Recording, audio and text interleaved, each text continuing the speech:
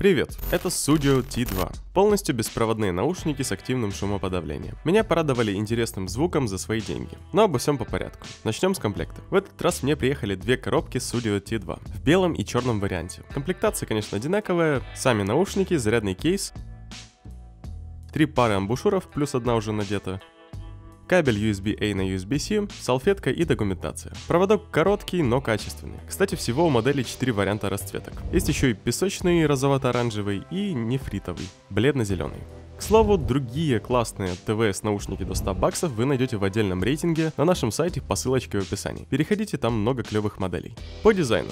Кейс компактный, эргономично, яйцеобразной формы, так сказать. Поместится в карман без проблем. Отличается от большинства конкурентов встроенной веревкой петлей для переноски. Крышка открывается легко, но сама не распахнется. Наушники внутри удерживаются надежно, но вытряхнуть можно. Поверхность кейса маркая. Тут и пригодится комплектная салфетка. Это матовый пластик с покрытием типа Soft Touch. Отпечатки пальцев остаются моментально. Корпусы наушников Studio T2 относительно небольшие и форма эргономичная. Они не сильно выдаются в ушах, хотя незаметными их точно не назвать. Пластик тоже матовый. Снаружи есть круглые платформы под металл. Это сенсорные панели. Поверхность у них рифленая, выглядит это хорошо, но пачкается моментально. Очиститься не особо просто. Сборка наушников и кейса надежная. Материалы износостойкие, никаких скрипов, необработанных швов и прочего я не заметил. В официальных характеристиках заявлена защита от пота и влаги, но без рейтинга IP. Что касается комфорта. Я проводил в данных наушниках около 3 часов без перерыва в домашней обстановке и почти почти 2 часа на улице в транспорте. В обоих случаях дискомфорта не было. Наушники можно уверенно называть удобными. Само собой, уши у всех разные, но эта модель точно подойдет большинству потенциальных покупателей. У меня уши среднестатистические, то есть среднего размера. Если потратить несколько минут на подбор амбушюров, то наушники будут сидеть в ушах плотно. Не выпадут даже во время тренировок. У меня за все время тестирования ни разу не было ощущения, что наушники надо поправить. Управление данных судей у меня оставило смешанное впечатление. Радует, что функционал полный. Переключение треков, управление громкостью, шумоподавление, все под рукой. А вот реализация жестов расстраивает. Схема такая. Одно касание по любому наушнику, старт, пауза, прием завершения вызова. Два касания, правый наушник. Это следующий трек, левый предыдущий. Три касания, правый наушник, увеличение громкости, левый уменьшение. Удержание около двух секунд по любому наушнику это переключение режимов шумоподавления, прозрачность и все выключено. Все действия подтверждаются разными звуковыми сигналами. Через пару раз запоминаешь, какой к чему относится. Ложных срабатываний нет или их минимум, благодаря форме корпусов. Когда надеваешь наушники, то держишь их, не задевая сенсор. А вот тройной тап выходит через раз. Даже в домашних условиях у меня получалось не более 50% шанса на успех. А уж на улице после первого дня перестал даже пытаться регулировать громкость жестами. Кнопка на нижней части кейса используется для сброса настроек. Удерживаем 5 секунд, индикатор мигает дважды и наушники обнуляются. Умной паузы нет, фирменного приложения не предусмотрено. Соответственно, никаких настроек и дополнительных функций тоже нет. Кратко сравним размеры Studio T2 с несколькими аналогичными моделями. JBL Tour Pro Plus, Huawei FreeBuds Pro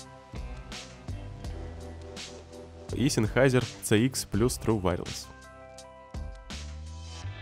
слову, обзоры на эти модельки будут тоже в описании. Они очень классные, переходите, почитайте, будет интересно, думаю. Что касается подключения и связи. Первое сопряжение происходит элементарно. Открываем кейс, и наушники уже доступны для обнаружения. Если нужно подключить другое устройство, то достаточно отключить наушники от первого, и они тоже автоматически перейдут в режим поиска. Знакомым девайсам наушники подключаются, но одновременно они могут быть соединены только с одним устройством. Мультипоинта здесь нет. Видео смотреть комфортно, задержек нет или почти нет. Проверял на YouTube и не не только. Меня отдельно радует возможность использования любого из наушников для музыки или звонков. Часто слушаю аудиокниги, поэтому для меня эта функция полезна. Переход с пары на один и обратно происходит быстро и без проблем. Судя T2 стабильно держит связь с источником в помещении и на улице. В домашних условиях отходил через две комнаты и только тогда начинались помехи, а это около 9 метров со стеной и дверью на пути. На улице не было артефактов, э, независимо от того, в каком кармане лежал телефон. Расстраивает, что нет поддержки aptX, конечно, конечно, или хотя бы AAC. Хоть это не главное в звуке, но в этой ценовой категории уже надеешься не только на кодек SBC. Зато Bluetooth версии 5.2. Это радует.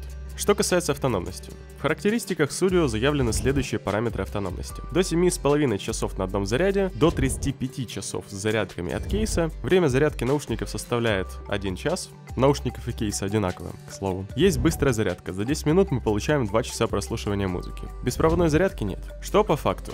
За 3 часа прослушивания шумоподавлением наушники у меня разрядились где-то на 50%. Заявлено до 6,5 часов шумодавом, что похоже на правду. Зарядками от кейса у меня наушники проработали больше недели, так что автономность вполне достойная. Активное шумоподавление Studio T2 прибавит комфорта в повседневной жизни. Оно рабочее, но далеко не на уровне лидеров сегмента, конечно. Справляется с низкочастотными монотонными шумами, но и все, пожалуй. Даже низкочастотную составляющую гула дороги не блокирует полностью, а только сглаживает. Разница между вариантами с шумодавом и без шумодава есть, но она не принципиальна, особенно если музыка громче среднего уровня. Режим прозрачности хороший, помогает ориентироваться в пространстве, не снимая наушников. Шумоподавление и прозрачность не влияют на звук и не создают давления в ушах голова не болит. Я бы сказал так, покупать эти наушники именно ради шумоподавления не стоит. Но стоит понимать и то, что хороший шумодав стоит обычно намного дороже. Чтобы убедиться в этом, переходите в рейтинг лучших наушников с шумоподавлением, там много классных моделек, подороже и на уровне данных студио. По микрофону. Я бы не советовал использовать Studio T2 в качестве полноценной гарнитуры. Перекинуться парой слов можно, но разговор дольше 5 минут может вызвать дискомфорт у собеседника, даже в тихой обстановке. На улице получалось поговорить пару минут, но только пока был в тихом дворе. Стоило выйти чуть ближе к дороге, до нее было метров 7-10. На том конце провода просили перейти на телефон, так как приходилось напрягаться, чтобы меня услышать. Из позитивных моментов можно говорить через любой наушник или включить режим прозрачности. С записями через микрофон вы сможете ознакомиться в обзоре обзоре на сайте по ссылке в описании. Поговорим о главном, о звучании. Звук, к счастью, это лучшая черта данных наушников Studio T2. Отличается от большинства прямых конкурентов натуральностью и хорошей проработкой высоких частот. В основном в своем ценовом сегменте наушники выглядят отлично. Один из лучших вариантов до 100 баксов. Кратко пройдемся по частотке. Низкие частоты. Есть акцент на нижнем краю диапазона. Бас не гудит и не раздут. Он создает хорошую основу для музыки. Он довольно натуральный, ударный и не ватный. Грязи обычно нет. Средний Средние частоты ровные, натуральные и не прячутся за басом. Голоса звучат живо, придираться не хочется. Высокие частоты самый верх сглажен, но в остальном есть даже акцент. Высокие разборчивые, достаточно натуральные. Натуральность на хорошем уровне, явной синтетики нет.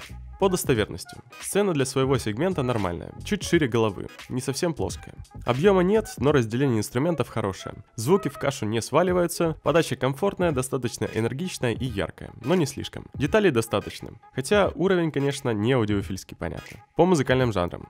Наушники универсальные, но есть нюанс. Мне не понравилось, как в них звучит бас-ориентированные жанры. Низких слишком много. А вот стили, где много живых инструментов, звучат хорошо. Лучше, чем в большинстве наушников конкурентов. Но допускаю, что любителям баса как раз соответствующие жанры понравятся. По вариантам применения. Это в первую очередь музыкальная модель. В этой роли она хороша. Ну и сериал в ней посмотреть можно. Звук получается насыщенный и с подобием объема. Больше подробностей о звуке, кстати, тоже читайте по ссылочке в описании в обзоре на сайте. Что по ценам? В России цены стартуют от 7200 рублей. Цен в Украине я пока не нашел, но думаю они будут стоить примерно по эквивалентной цене от 2500 гривен. По главным плюсам. Качественный звук. За свои деньги один из лучших вариантов. Удобная и надежная посадка. 3 часа без дискомфорта. Не выпадут на ходу или на пробежке. Интересный и универсальный дизайн. Надежное соединение по Bluetooth в районе 8-9 метров, никаких заиканий и прочих проблем. Нет задержек при просмотре видео.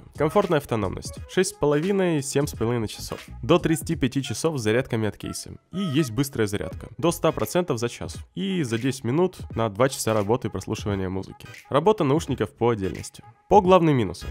Не всегда удобное управление. Тройные касания получаются далеко не всегда. Приложения для настройки нет. Посредственное шумоподавление. Оно работает, но не впечатляет. Нет aptX, мультипоинта и умной паузы. Эти полезные особенности уже встречаются в этом ценовом диапазоне. Марки и материалы. Матовый пластик быстро собирает отпечатки пальцев, а рифленые сенсорные панели загрязняются. Микрофон ниже среднего уровня. По итогу Studio T2 получили оценку на нашем сайте 7,8 из 10. Это довольно хороший показатель. Стоят ли они своих денег? Да. Они предлагают отличный звук за свои деньги. Сейчас на официальном сайте они продаются со скидкой. Ссылочка, кстати, будет в описании. Но даже полная цена не выглядит завышенной. Купил бы я их себе? В качестве дополнительных вполне. Вот такие дела. И не забудь подписаться.